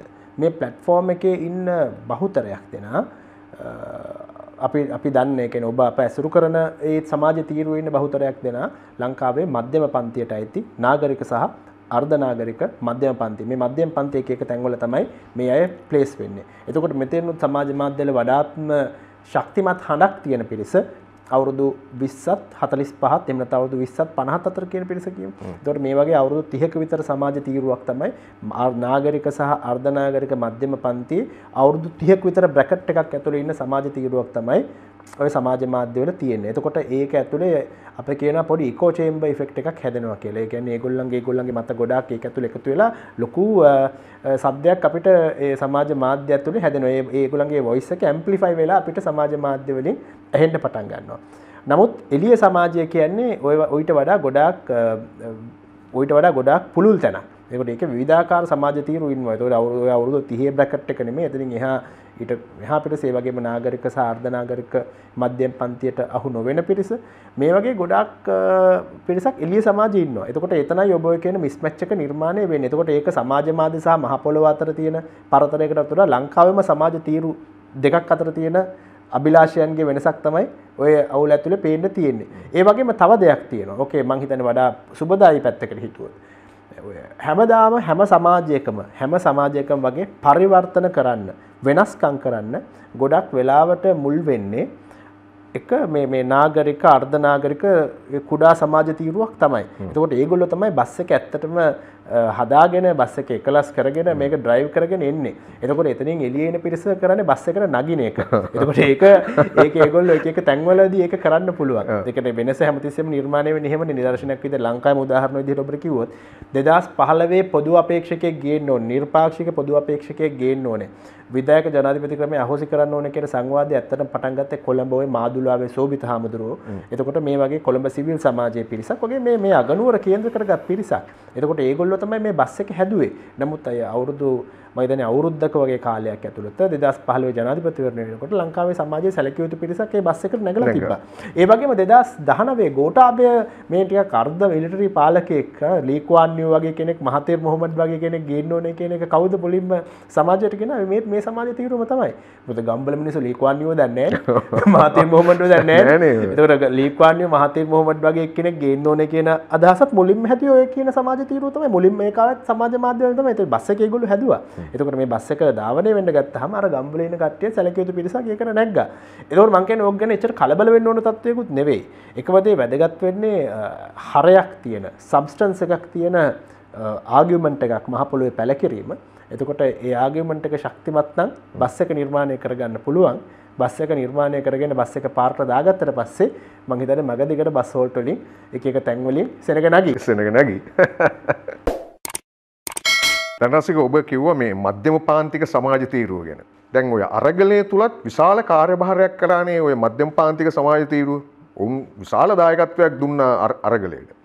ඒ වගේම ඔවුන් ඉල්ලා හිටියා මේ සිස්ටම් චේන්ජ් එකක් මේ රට ඇතුළේ අවශ්‍යයි කියලා. දැන් ඔවුන්නේ ඉල්ලා හිටපු ඒ කාරණාව දේශපාලන පක්ෂ විසින් මේ මොහොතේ අතට අරගෙන ඔවුන් කියනවා ඉක්මන් මැතිවරණයකට යා යුතුයි මේ සිස්ටම් චේන්ජ් එක කරන්නම් කියලා. මේ තියෙන මේ මේ ක්‍රමවේදය දැන් සකස් වෙන්නේ නැහැ මේකට මේ පැවැත්මක් නැහැ කියලා විශාල තර්ක ගණනාවක් වුන් ගොඩනගනවා දේශපාලන පක්ෂ වශයෙන්. හැබැයි රසික මේ මහ පොළවේ දැන් තියෙන මේ යථාර්ථයත් එක්ක ඔබ හිතනවාද හෙට දවසේ මැතිවරණයක් තිබ්බොත් ඒ ඉල්ලා හිටන සිස්ටම් චේන්ජ් එක සිද්ධ වෙයි කියලා. ඕක දෙකක් තියෙනවා. සිස්ටම් චේන්ජ එකක් ඉල්ලා සිටින්නේ මේ සිස්ටම ගැන මෙලෝ අලබෝලයක් තේරෙන නැති මිනිස්සු. එම තේරෙන මිනිස් විටියනම් සිස්ටම් චේන්ජ එකක් නෙම ඉල්ලන්නේ. අලුත් සිස්ටම එක වෙන්න මේ සිස්ටම් එක අපිට ඕනේ කියලා ඉල්ලන්නේ. ඒ ගැන මේ මොකක්හර වෙනසක් කරන්න කියලා ඉල්ලන්න එකක්නේ මොකක්හර වෙනසක් කරන්න කියලා ඉල්ලනවද? වෙනසක් ගැන අවබෝධයක් තියෙන මිනිස්සෙක්. වෙනසක් ගැන අවබෝධයක් තියෙන මිනිස්සෙක් කියන්නේ මෙන්න මේ ක්‍රමය අපිට අවශ්‍යයි. මෙන්න මේ ප්‍රතිසංස්කරණ අපිට අවශ්‍යයි. මෙන්න මේ දේවල් අපිට අවශ්‍යයි. මෙන්න මේවා කරපල්ලා කියලා. ඒකනේ ඔක තේරෙන මිනිස්සු ඉල්ලන්නේ. ඒතකොට සිස්ටම් චේන්ජ් එක කියන්නේ ඊටාම අන්ධ විදිහට මිනිස්සු කරතියාගෙන යන සටන් පාටයක්. ඊට පස්සේ ඕක කරන්නේ දේශපාලනඥයෝ කාලෙන් කාලට ඇවිල්ලා ওই සිස්ටම් චේන්ජ් එක දෙන්න පොරොන්දු වෙලා අවුරුදු 5 පහට ඇවිල්ලා ආපහු මේ මිනිස්සුන්ව අර වගේම ගොනාට අන්තගෙන තව රවුමක් ගෙනියන එකක් තමයි ඔය ඔය ඔය වැඩේ. එතකොට මං කියන එක මේ අවිචාරවත් බව කියලා. මේ අවිචාරවත් මිනිස්සු මේකට අහු වෙලා තියෙනවා. ඒක තමයි ඇත්ත. එතකොට දෙවෙනි කාර්ය මේ වෙලාවේ මැතිවරණයකට ගියොත් මේ වෙලාව මැතිවරණ කියල මොකක්ද මට තේරෙන දේශපාලනය හැටියට නම් මාත් අවුරුදු දැන් 16ක් විතර දේශපාලනය ගැන ලියලා තියෙන මාධ්‍ය ශාස්ත්‍රයට වසම ඇත්තට ඇක්ටිව්ලි දේශපාලනය වැඩ කරපු කාලයක් තිබුණා. ඉතින් මම යම්කිසි පොඩි දේවල් ටිකක් මේක ගැන දන්නවා. මට තේරෙන දේශපාලනය හැටියට නම් මේ වෙලාවේ මැතිවරණයකට ගියොත් කාරණා කීපයක් සිද්ධ වෙන්න පුළුවන්. එකක් තමයි ඔය ප්‍රධාන දේශපාලන පක්ෂ දෙකම ශ්‍රී ලංකා පොත් ජන පෙරමුණ සමග ජන බලවේගය කෑලි දෙක තුනකට කැඩෙනවා.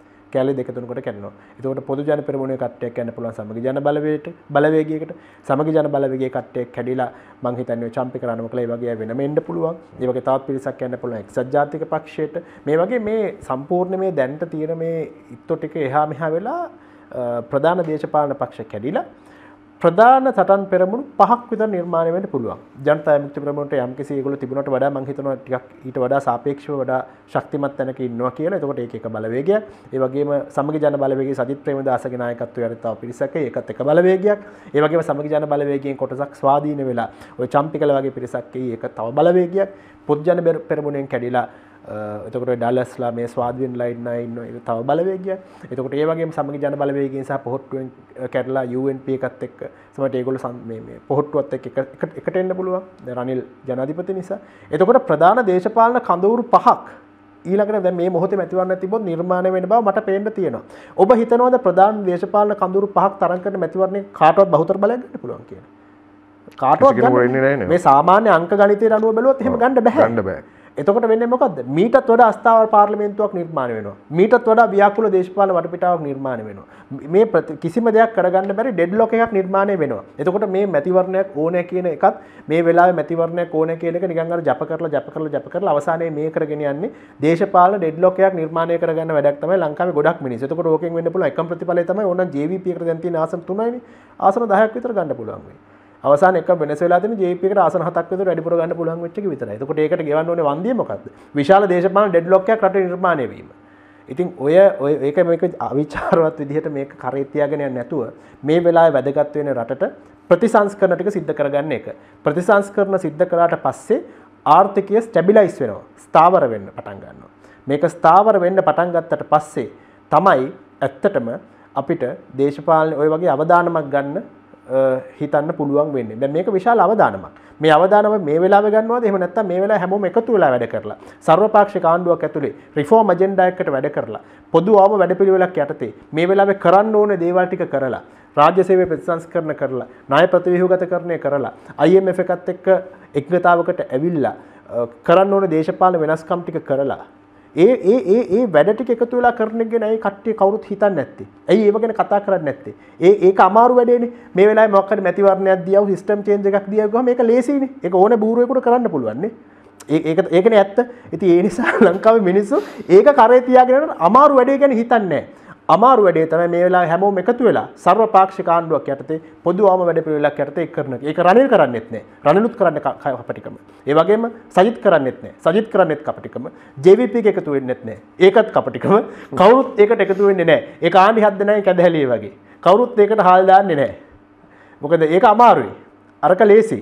ඕක තමයි ලංකාවේ ඛේද වාචකය. ලංකාවේ මිනිස්සු මේ විගඩම බාර ගන්නකම් ප්‍රශ්න නොකර දේශපාලක දේශපාලන දේශපාලනක්ෂයන්ට වඩා පීවරක් ඉස්සරහට තියලා මේක ගැන හිතන්න පටන් ගත්තේ නැත්තම් ලංකා මිනිස්සු හැමදාම රැවටෙන එක විතරයි වෙන්නේ. මම හිතන්නේ ඒක අපි වෙනස් කරගන්න ඕනේ. හරි රසික දැන් මේ මම මේ ප්‍රශ්නේ ඔබෙන් අහන්නේ ඔබ ඔබ ප්‍රායෝගික වාදියෙක් විදිහට. දැන් අපේ රටේ විශාල තරුණ කණ්ඩායම් අතර ලොකු නැඹුරුවක් තියෙනවා මේ වාමාංශික ජනප්‍රියතාවාදයට. ඒක අපිට පේනවා ඔවුන්ගේ උන්ගේ හැසවීම් වලින් ඔවුන් කරන ප්‍රකාශයන් හරහා විශාල තරුණ මේ සමාජ තීරුවේ එවැනි නැඹුරුවක් පෙන්නුම් කරනවා. දැන් රසික මේ නැඹුරුව ප්‍රතික්ෂේප කරනවානේ වාමාංශික ජනප්‍රියතාවාදය. ඇයි මම අහනවා මේකේ ප්‍රශ්න දෙකක්. ඇයි ඔබ ඒක ප්‍රතික්ෂේප කරන්නේ? සහ අනිත් එක ඒ ඒ ජනප්‍රියතාවාදයට යන්න පුළුවන් දුර ඔබ ගණනය කරලා තියෙනවද? ද වාමාංශික ජනප්‍රියතා වාදය කිව්වම මේක ටිකක් ලොකු වචනයක් නේ බර වචනයක්. ඒක දැන් තරුණයෙක් මේක අහගෙන ඉන්නවා ඒගොල්ලන්ට මේක තේරෙන එකක් නෑ. මම ඒගොල්ලෝ සරල ඒගොල්ලන්ට තේරෙන විදිහකට මේක කියන්න. දැන් අපි හිතනවා මොකක් හරි ආයතනයක් තියෙනවා කියලා හිතමු.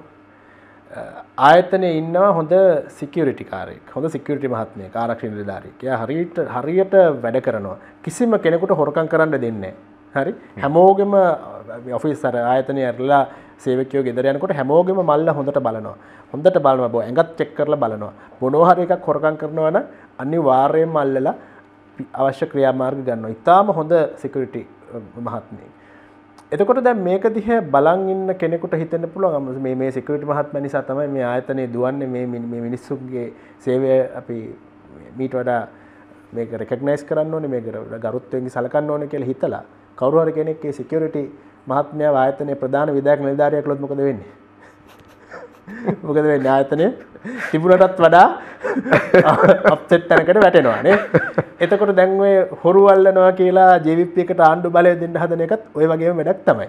ඒක තමයි වාමාංශික ජනප්‍රියතාවාදය කියන්නේ. මේ අපේ ධනය හොරා කනවා, දේශපාලනඥයෝ ධනය හොරා කනවා, අපේ සම්පත් මංකොල්ල කනවා. මේක නවත්තන්න පුළුවන් JVP එකට තමයි කියලා හිතලා JVP එකට ආණ්ඩු බලය දෙන එකත් අර ආයතනයේ හොරකම් ටික නවත්තන නවත්තන්න මහන්සි වෙලා වැඩ කරන සිකියුරිටි මහත්මයා ආයතනයේ ප්‍රධාන විධායක නිලධාරියා කරගත්තා වගේ වැඩක්. ප්‍රධාන විධායක නිලධාරියාගේ වැඩේ තමයි ධනය නිර්මාණය කිරීම, wealth creation. ඒකට අවශ්‍ය කරන ප්‍රතිසංස්කරණ සිදු කිරීම. ඒකට අවශ්‍ය කරන පියවර ගැනීම, ඒකට අවශ්‍ය කරන විෂන් එකක්, ඒකට අවශ්‍ය කරන දැක්මක් තියෙනවා ප්‍රධාන විධායක නිලධාරියාට. ඒකෙන් කියන්නේ අර සිකියුරිටි එහෙම නැත්නම් ආරක්ෂක නිලධාරී මහත්මයා කරන වැඩේ නරකයි කියලා. ඒ වැඩේ හොඳයි. නමුත් ඒ වැඩේට යන්න පුළුවන් සීමාවක් තියෙනවා. ඒ වැඩේ සීමාව ඒක ඇතුලේ තමයි නිර්මාණය වෙන්නේ. එතකොට එහෙම කියලා එයාව ඒ එයාගේ අතට ආයතනයේ බාර ඒ ඒ කාරණය නිසාම එයාට තිබ්බනම් වෙනම දැක්මක්. එයාට තිබ්බනම් ආයතනයේ ඉදිරිය ගැන දැක්මක්. ආයතන ඉදිරියේ වෙන්න මේ විදිහට යන්න ඕන කියලා උපාය මාර්ගික සැලැස්මක් අපිට හිතලා බලන්න තිබ්බා. හැබැයි රසික මේ ඔබ කියන්නේ නිකන් ඔබ නිකන් නොකිය කියන්නේ ජනතා විමුක්ති පෙරමුණට එහෙම විෂන් එකක් නැහැ නෑ එහෙම විෂන් එකක් නැහැ. ඒ විෂන් එකක් නැහැ කියන එක මීටත් වඩා ඒ කියන්නේ මේ අපි මේ ඉන්නවටත් වඩා කේදනීය තැනකට එන්න පුළුවන් ඒගොල්ලන්ගේ ඒ පසුගාමී සහ මේ මේ තියෙන අදහස් එක්ක මම ඔබට සරල උදාහරණයක් කියන්න. ලංකාවට ඇත්තටම ආයෝජකයෙකුට ආයෝජකයෙක් සිහි කල්පනාව තියෙන ආයෝජකයෙක් ඇත්තටම ලංකාව වගේ රටක ආයෝජනය කරන්නේ නැහැ. ඒකට එක හේතුවක් තමයි එක උදාහරණයක් දෙන්නේ. ඒකට එක හේතුවක් තමයි ලංකාවේ තියෙන කම්කරු නීති. ගොඩක් කම්කරු අනපනත් එක්දස් නවසිය තිය හතලිය පනා හැට ඔය වගේ කාලේ ආපු ඒවා ඒක අනපනත් වලින් මං හිතන්නේ මේ අති බහුතරයක් එක්දස් නවසිය හැට හැත්තෑවට කලින් හදපු ඒවා එතකොට මේ අවුරුදු 50කින් 60කින් මේවා යාවත් කාලෙ වෙලා නැහැ. සමහර ඒවා අවුරුදු 90කින් 80කින් යාවත් කාලින වෙලා නැහැ. එතකොට මේ වගේ පරණ කම්කරු නීති රීති තියෙන රටක හොඳ සිහි කල්පනාවක් තියෙන ආයෝජකයෙක් වෙලා ආයෝජනය කරන්නේ නැහැ. ඒ වගේම ලංකාවේ ආයෝජන ක්‍රියාවලිය ඉතාම සංකීර්ණයි. ඒ ආයෝජකය ආයෝජනය ප්‍රවර්ධනය විදිහ කරන විදිහට නෙමෙයි ලංකාවේ ආයෝජන සිස්ටම් එක හැදිලා තියෙන්නේ. එන මිනිස්සුත් ආපු හැරලා යන විදිහට. ඊට පස්සේ ඒ වගේම ඕයන් කොමිස් ඉල්ලනවා ඊට පස්සේ දේශපාලනඥයෝ. එතකොට මේ වගේ මේ ආයෝජන දුර්මුඛ කරන සිස්ටම් එකක් තමයි ලංකාවේ තියෙන්නේ. එතකොට JVP එක මොකද්ද මේ කම්කරු නීති ගැන එහෙමද ඒගොල්ලන්ගේ තියෙන අදහස? ඒගොල්ලෝ වචනයක්වත් කතා කරන්නේ නැහැ නේද ඔය ගැන? ඔය අධ්‍යාපන ප්‍රතිසංස්කරණ වගේ දේවල් ඇත්තටම වෙන්න ඕනේ අධ්‍යාපන ප්‍රතිසංස්කරණ. එතකොට ඇත්තටම පුද්ගලික අංශයේ සවි බල ගැනීම ගැන වචනයක්වත් කතා කරන්නේ නැහැ නේද ඒගොල්ලෝ? මේ කිසිම දෙයක් ගැන ඒගොල්ලෝ ඇත්තටම වචනයක්වත් කතා කරන්නේ නැහැ නේ මේගොල්ලෝගෙන් මේ හොරකම අර මේ ජනප්‍රිය කතා ටිකක් කියනවා. ජනප්‍රිය කතා ටිකක් කියනවා. මේ ජනප්‍රිය කතා ටික කියලා ඊට පස්සේ කියනවා අර අර සිකියුරිටි මහත්මයාගේ වැඩේ මම මේ හොඳට හොරු ටික අල්ලනවා මට දෙන්න මේකේ CEO කම කියලා. ඒ කිසිම උපාය මාර්ග සැලැස්මක් නැතු මම තව වුණ උදාහරණයක් කියන්නම්. ඔය වගේ මේ කරුණුත් මම කියලා තියෙනවා. දැන් අර මේගොල්ලෝ කියනවානේ පැන්ඩෝරා පේපර්ස් වලින් හොරු ටික අල්ලලා ඒගොල්ලන්ගේ ධනය අරගෙන අපි ණය ගෙවනවා කියලා ලංකාවේ. දැන් පැන්ඩෝරා පේපර්ස් වලට අනුව ඩොල මිලියන එකසි හැටක් විතර තියෙනවා ඒ වත්කම් තිරු නඩේසන්ගේ නිරුපම රාජපක්ෂගේ. ඩොල මිලියන එකසි හැට තකට සමස්තේම ගත්ත ඩොල මිලියන එකසි හැට ගන්නුවෙන් ඔය ඩොල මිලියන එකසේ හැටෙන් ඔබ හිත ලංකාවට මොකද කරන්න පුළුව ලංකාවට මාසකට තෙල්ගෙන ඩොල මිලියන් පන්සියක් එදකොට පිට මාස භාගකට සති දෙක හමාරකට ඩොල මිලියන එතකට දෙසිය පණහයි ඩොල මිලියන එකසිය හැටකින් අපිට සති එක හමාරකට තෙල්ගෙන්න්නු හැකි මගේකින් කියන්නේ අර ඒ සල්ලි ගන්න එපා කියන එක නෙවෙයි මං කියන්නේ ඒක ගන්න. ඒක හොඳයි. ඒව පරීක්ෂණ කරන්න ඕනේ. මේ මිනිස්සුන්ගේ ධනෙ හොරා කාලා තියෙනවා නම් ඒ වැඩේ කරන්න ඕනේ. සිකියුරිටි මහත්මයා සිකියුරිටි රාජකාරිය කරන්න ඕනේ. ඒ සිකියුරිටි මහත්මයා ගෙදර යවන්න කියලා නෙවෙයි කියන්නේ. නමුත් ඒකෙන් විතරක් මේ ආයතනය ගොඩ දාන්න බෑ කියලා. ඊට වඩා ඊට වඩා සැලැස්මක් ඊට වඩා දැක්මක් ඊට වඩා නූතනවාදී ප්‍රවේශයක් මේකට අවශ්‍යයි ඉතින් වාමාංශික ජනප්‍රියතාවාදය කියන බර වචනේ තමයි මම මේ පැහැදිලි කරලා දුන්නේ. එතකොට තාමත් ඔබ හිතන්නේ එහෙම එහෙම කළොත් මේක ගොඩ දාන්න පුළුවන්ද කියලා. මම එහෙමනම් ඔබ දැන් පොඩ්ඩක් ඔය තියෙන ආස්ථානින් වෙන තැනකට අරගෙන යනවා බොහොම සරල තැනකට. අපි පොඩ්ඩක් දේශපාලනයෙන් බැහැර වෙලා දැන් කතා කරමු. ආදරය සම්බන්ධ. ආදරය සහ ප්‍රේමය කියන්නේ මොකක්ද? ඒ කියන්නේ මේක එකකම කොටස් දෙකක්ද නැත්තං ආදරය සහ ප්‍රේමය කියන්නේ දෙකක්ද. ආදරය සහ ප්‍රේමයකම ඇත්තටමති මේ ලෝක එකක මිනිස්සු එක එක තැන්වලින් අල්ලගන්නේ. එකන මිනිස් තම තමන්ට ගැලපෙන විදිහට තම තම නැන පම්මින් තම තම පරිමාවනුව මිනිස්සු අල්ලගන්න ඕක. නමුත් පොදුව බොහොම යුනිවර්ස තැනකට ගියොත් මං මං පුද්ගලික වාදරයක විශ්වාස කන දේමන කියන්න පුළුවන් එතකොට ඒක මමන ආදරය කියලා ඇතරම දකින්නේ මිහිරි හැඟීම්. ගැන මට මෙතන මල්බඳුනක් තියලා ඒ මල්බඳුන ගැන මිහිරි හැඟීම් ඇතිවන මගේ මල්බඳුන්ට ආදරය කරනනේ ඔබට ගෙදර ඔබ බල්ලෙක් හදරනම් ගෙදර බල්ලා දැක්කාම මිහිරි හැඟීම් ඇතිවනම් ඔබ බල්ලට ආදරය කරනවා. එතකොට ඒවගේ පුද්ගලෙක් සම්බන්ධය ඔබට ඒවිදිට මිහිරි හැඟීම් ඇතිවන එක ලෙවල්ස් වල. එක එක දරුවෙක් සම්බන්ධයක විදිහක මීරි හැඟීම් වෙන්න පුළුවන්. ඒ වගේ එක එක විදිහට පුද්ගලයෝ සම්බන්ධයෙන් අපිට මීරි හැඟීම් ඇති වෙනවා. අපි ඒකටත් කියනවා ආදරය කියලා. එතකොට ඕක ඕක එක එක එලිමන්ට් එකක්. මම කියන්නේ ඒක ඉතින් කිසි සීමාවක් මායිමක් නැහැ. ඊටාම නිදහස්, ඊටාම විවෘත අවකාශයක් තමයි ආදරය කියලා කියන එක. නමුත් ඒකත් එක්ක ඊට පස්සේ මතුවෙන තත්ත්වය තමයි මිනිස්සු ජීවිතේ සම්බන්ධතා කියලා જાතියක් හදාගන්නවා. ඒ කියන්නේ මේ සම්බන්ධතා වල පදනම ඇත්තරම අපි හැමෝටම ජීවත්වකට අවශ්‍යතා ටිකක් තියෙනවානේ. මානසික අවශ්‍යතා ටිකක් තියෙනවා. අපිට අවශ්‍යයි කවුරු හරි අපි කයා කරන ඒ කයා කිරීම සම්බන්ධයෙන් අවශ්‍යතාවක් තියෙනවා. අපිට අවධානය අවශ්‍යයි අනුන්ගේ. ඒ මානසික අවශ්‍යතා ටිකක් තියෙනවා. ආදරය සෙනෙහස මේ වගේ දේවල් අවශ්‍යයි. affection එක අවශ්‍යයි අපිට අනුන්ගේ. එතකොට ඒකේ මානසික අවශ්‍යතා ටික කායික අවශ්‍යතා ටිකක් තියෙනවා. ලිංගික අවශ්‍යතා ටිකක් තියෙනවා. ඊට පස්සේ සමාජීය අවශ්‍යතා ටිකක් තියෙනවා. ආර්ථිකමය අවශ්‍යතා ටිකක් තියෙනවා. සංස්කෘතිකම අවශ්‍යතා ටිකක් තියෙනවා. ඊට මේ අවශ්‍යතා ටික සපුරා ගන්න අපිට මොකක් හරි අරේන්ජ්මන්ට් එකක් අවශ්‍ය වෙනවානේ. ඒ කියන්නේ අරේන්ජ්මන්ට් එක නැතුනොත් මේ ටික සපුරා ගන්න බැරි වෙනවා. ඉතින් ඔය අරේන්ජ්මන්ට් එක හදාගන්න මිනිස්සු එක එක ජාතිය දහංගට දානවා. ඉතින් ගොඩක් අය අර Tamanට මිහිරි හැඟීම් තියෙන කෙනෙක් අල්ලගෙන මිහිරි හැඟීම් තියෙන එක්කෙනා අර අරේන්ජ්මන්ට් එක ඇතුළට ගෙනල්ලා මේ අරේන්ජ්මන්ට් එක හදාගෙන මේක ඉස්සරහට ගෙනියන්න ගොඩක් මහන්සි වෙනවා. සමහර අයට සමහර තැන්වල ඒක සාර්ථක වෙනවා. සමහර තැන්වල ඒක අසාර්ථක වෙනවා. ඉතින් ඔය දෙක සම්බන්ධතා කියලා කියන්නේ ඇත්තටම අර මම කියපු arrangement එක. එතකොට ආදරය සහ සම්බන්ධතා අතර පරතරයක් ස්වභාවිකවම තියෙනවා. සම්බන්ධතා කියන්නේ එකක්, ආදරය කියන්නේ එකක්. මේක merge වෙන තැන් වල ඊටම ලස්සනයි. merge නොවන තැන් වල නම් මම කියන්නේ ප්‍රශ්නයක් merge නොවනට ප්‍රශ්නයක්. ඒ ප්‍රශ්නයක් නැහැ. arrangement එකක් එක පැත්තකින් දුවනවා නම් ඉතින් ඒක ඔය දුවන්න දෙන එක තමයි තියෙන්නේ. හරි දැන් මේ කලාව පිළිබඳ රසික කතා කරපු එක්තරා සම්මුඛවීමකදී රසික හරි අපූරු දර්ශනික කියමනක් එතන පාවිච්චි කරනවා මේ නිශ්චලත්වය පිළිබඳව. ඒ කියන්නේ මිනිසා බොහෝ කරුණු දැනගන්නකොට දැනගත්තට පස්සේ හරි නිශ්චලයි. ඒ දැනගන්නකම් ඔහු හරි චංචලයි කියලා. ඒක බොහොම දාර්ශනික කියමනක් මේක ඇත්තටම බෞද්ධ දර්ශනයට වුණත් ඒක සම්බන්ධ කරන්න පුළුවන්. ඔබ මේක ඊටාම අපූර්වට කලාවට සම්බන්ධ කරනවා. මං කැමති රසකින් ඒ ගැන පොඩි තව පුළුල් විග්‍රහයක් දැනගන්න මේ එක පැත්තකින් ලංකාවේ කලාව පිළිබඳ ඔබේ මතය මොකක්ද ඒක බොම පොහොසත් තැනක තියෙනවද එහෙමත් එහෙම නැත්තම් ඒක තියෙන ප්‍රාථමික තැනකද මං කැමති ඒ ගැන රසිකගේ අදහස දැනගන්න. නිශ්චලත්වය එහෙමනත ස්ටිල්නස් කියලා කියන එක ගැන මම කියපු කාරණේ තියෙන්නේ. එතකොට ඒක මං හිතන්නේ මේ ලෝකේ හැම ලස්සන මූමන්ට් එකක්ම මේක කලාව වෙන්න පුළුවන් එහෙම නැත්නම් අපේ සිතුවිලි ධාරාව වෙන්න පුළුවන්. ඕන මූමන්ට් එකක් ඇත්තටම පටන් ගන්න තැන තමයි නිශ්චලත්වය. ඒක සරලවම තේරුම් ගන්න පුළුවන් තැන ඕනෑම ලස්සන ආර්ට් එකක් මවන්න පුළුවන් හිස් කැන්වස් එකනේ. ඕනෑම ලස්සන නර්තනයක් පටන් ගන්න කලින් ඒ නර්තන ශිල්පියා මුලින් නිශ්චල වෙන්න එපා නිශ්චලත්වයට සාපේක්ෂවනේ චලනය සිද්ධ චලනය සිද්ධ වෙන්නේ. එතකොට ඕනෑම සංගීතයක් පටන් ගන්න කලින් නිහඬියාවක් තියෙනවා. නිහඬියාවට සාපේක්ෂව වෙන සංගීතය උපදින්නේ.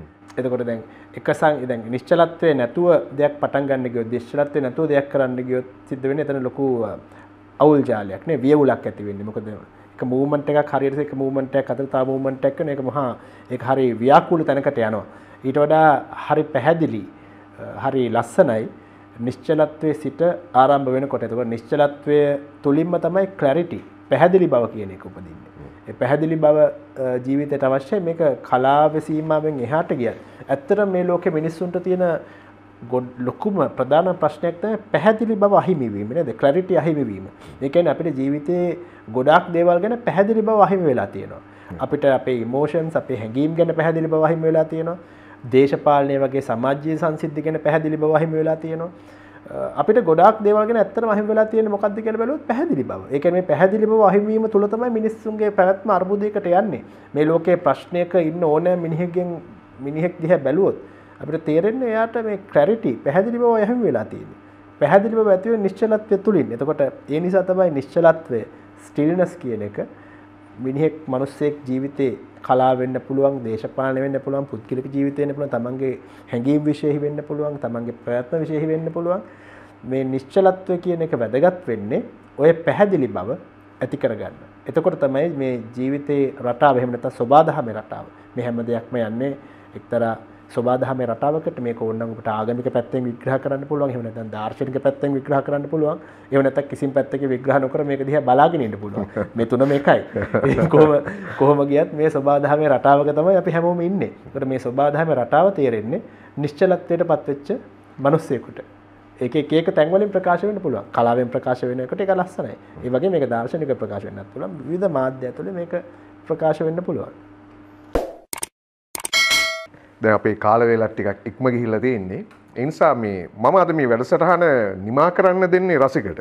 හැබැයි නිමා කරන්න ප්‍රථමයෙන් මං අවසාන ප්‍රශ්නය හැටියට ඔබෙන් අහනවා රසිකගේ ජීවන දර්ශනය මොකක්ද කියලා. හරි සරල දෙයක් this too shall pass මේකත් පාස් වෙලා යනවා ඕනෑම ඕනෑම දෙයක් අපි යෙදිලා ඉන්න වැඩක් වුණත් අපි පිනියලිලා ඉන්න මොගක් හරි දේශපාල කාර්යක් වුණත් සමාජීය කාර්යක් වුණත් එහෙම නැත්නම් අපි මැදි වෙලා ඉන්න සම්බන්ධයක් වුණත් මැදි වෙලා ඉන්න ප්‍රශ්නයක් වුණත් මැදි වෙලා ඉන්න කුමනාකාරයේ අභියෝගාත්මක දෙයක් වුණත් අපි කරමින් ඉන්න කුමනාකාරයේ දෙයක් වුණත් යම් කිසි වෙලාවක මේ පාස් වෙනවා. ඒ කියන්නේ ඒක අවසන් වෙනවා. ඒක ඉවර වෙන වෙනස් වෙනවා. මේ අපි චලනයක ඉන්නේ කියන දේ. එතකොට මේ අප මේ මේ හැම දෙයක්ම නිකන් පාවෙලා යන වලාකුළු ටිකක් විතරයි කියලා තේරුම් ගත්තට පස්සේ මං කියන්නේ මේක මේ අනේ මේ බලාකුළු ටිකක් මේ ඔක්කොම කිසි දෙයක් නෑ නේද? මේ ඔක්කොම හිස් නේද කියලා ඒක දිහා කල්පනා කර කර ඉන්නේ නෑනේ මේ සිය කල්පනාවක් තියෙන මිනිස්සෙක්. බලාකුළු තියෙනවා. ඒක ලස්සනයි. පාස් වෙලා යනවා. ඒ අහස සුන්දරත්වය විඳිනවා නේද? ඒකත් එක්ක පොඩි අපි ගනුදෙනුවක යෙදෙනවා. මේ ගනුදෙනුවක යෙදීම තමයි ජීවිතය කියන්නේ. එහෙම නැත්නම් මේක මේක හිස් මේක බොල් කිය කිය මේ වෙන ට්‍රිප් එකක් යන එක නෙවෙයි. ඒ වගේම මේ හැම දෙයක්ම පාවෙලා යන බලාකුළු ටික වේව උඩ එල්ලිලා මේවා තියාගන්න සටන් කරන එකක් නෙවෙයි මේ පාවෙලා යන දේවල් වල ලස්සන දකින එක තමයි ජීවත් වෙනවා කියන්නේ. හොඳයි. එහෙමනම් ඒ ලස්සන දකිමින්ම අපි අද අපේ වැඩසටහන නිමා කරමු. හැබැයි මම නිමා කරන්න අවසරය දෙන්නේ රසිකට.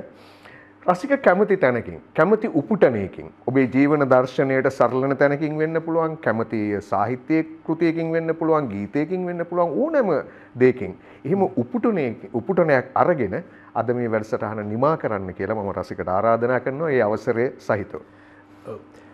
මම ආසාය කරගේ පුද්ගලික්ව මගේ ජාතික ගී විදි රඳුරන ගීතයක් රටේ ජාතික වෙනදෙන පුද්ගලික මේක තාගෝර් ලීපු ගීතම මේක ලීලා තියෙනවා. එක්ල චලෝරය කියන තනිව ඇවිදින්න.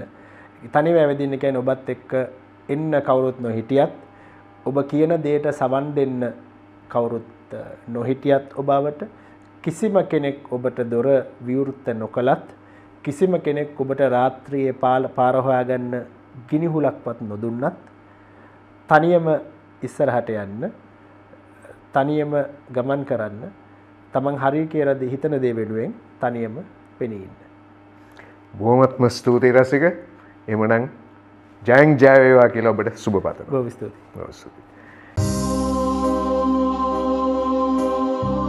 Lines and Beyond රාමගත සීමා මායමෙන් ඔබට ජනක කුඹුකගේ සමග සැරිසරමු.